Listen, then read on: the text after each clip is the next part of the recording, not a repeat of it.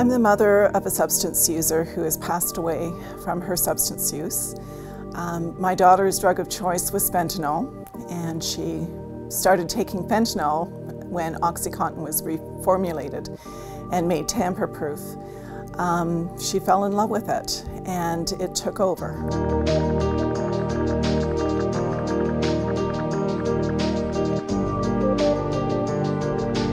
In my naivety, I said, wow, that's amazing, you should tell your doctor, and she did. And he immediately cut her off without any psychiatric counseling or anything um, to help with the social anxiety. Um, she tried to go clean. Um, again, my, my ignorance to substance use or dependence um, told me to tell her, you know, just stop, just uh, don't go searching for other drugs to substitute for the OxyContin. Um, but she couldn't, and I didn't understand why.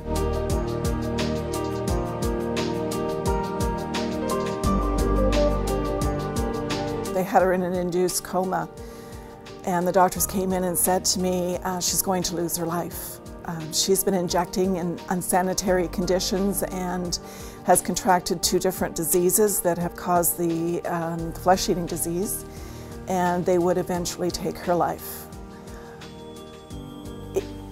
I had to face my daughter and tell her that she was going to predecease me because of her substance use, and I was angry.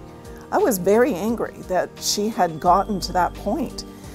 Um, but when she woke up and we were talking about it being the end of her life, she turned to me and she said, you really need to be educated. You need to understand what substance abuse is and why I've gotten this far.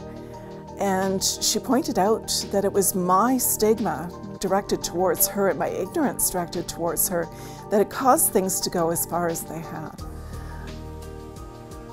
I was astounded that it was my fault.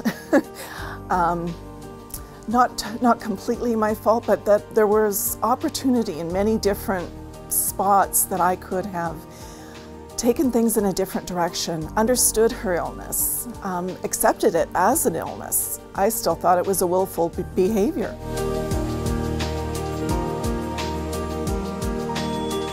And she sat with me day after day after day at the picnic table and just talked to me about what substance use was to her and how it took hold of her and how she didn't want to wake up in the morning wanting more drugs. She wanted to wake up wanting to be sober, but the opportunities weren't there for her.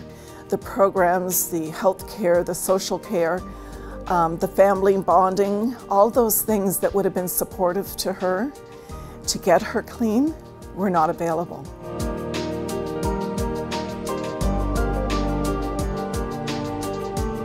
I was surprised it happened to me. My children were raised by the book.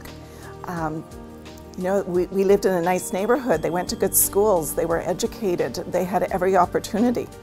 And it happened. And it can happen to anyone's child.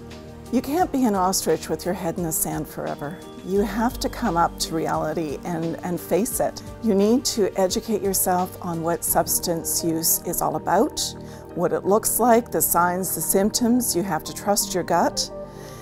You have to love your way through it. Yes, there's boundaries and there's barriers, but no substance user is going to find recovery without assistance. You can be that person for your child. Go out there. I implore you to go out there, get the information, work with it. Open the, open the communication between you and your child and let them know that you're there. You're there to learn with them, to help them, to walk them through it.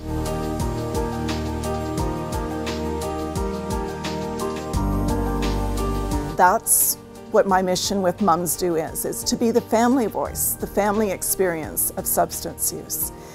Um, mumsDU stands for Mums United and mandated to saving the lives of children and we go out there into the communities, into the provinces, into the countries.